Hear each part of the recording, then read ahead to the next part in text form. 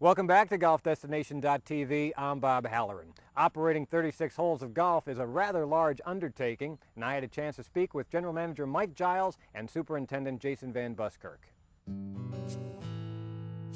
When you came here three years ago, you had some sort of a, a vision uh, or a plan for this place. Um, and what is that, and how far along are you?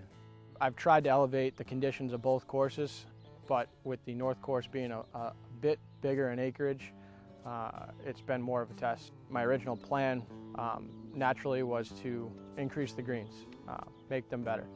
Uh, they were already great. Um, my my uh, old boss uh, made them great, um, so I had to continue that, and I had to I had to bring them to the next level. Um, I'm a big believer in green speed, and, and how fast they're rolling, and uh, so I, I, wanted to push them to the next limit and, and get them to where I thought they could be.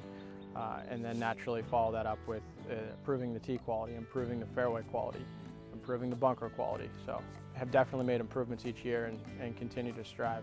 When I look at an actual golf hole or a golf course, uh, I pick it apart into five stages. So greens are number one, tees are number two, fairways are number three, uh, bunkers and rough is obviously number four, and then in step number five is the complete hole. So how does the complete hole play and look and, and feel?